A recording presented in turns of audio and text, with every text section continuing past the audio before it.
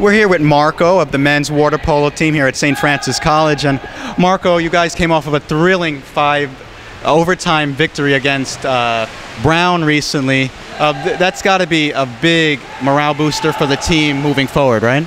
It's really a, a big, big morale booster because playing five overtimes and winning in the last second of the fifth overtime, uh, it was amazing. And playing the game, and especially fans that were there, like told us that it was amazing to watch the game. So we're glad for them too.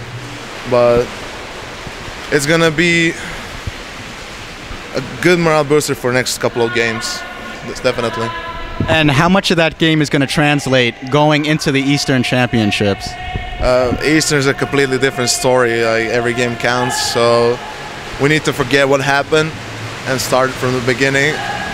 Uh, of course, we're gonna remember that. It's gonna be like, yeah, we did a good job, but we need to forget about it and start to eat fresh. Every game counts from now on. And being that you're the number one seed going into the championships, does that make you even more confident going against Johns Hopkins next week? Uh, we are pretty confident, but we still respect Johns Hopkins. We are gonna play as bad as bad as we can, and hopefully gonna win it. And as far as the game plan goes, what's going to be the biggest factor going into that game there? Uh, the biggest factor is going to be our game, just our game. If we are focused and concentrated, we cannot lose the game. They're swimmers, basically they just swim. That's their game. If we cover that, we're, we're pretty good.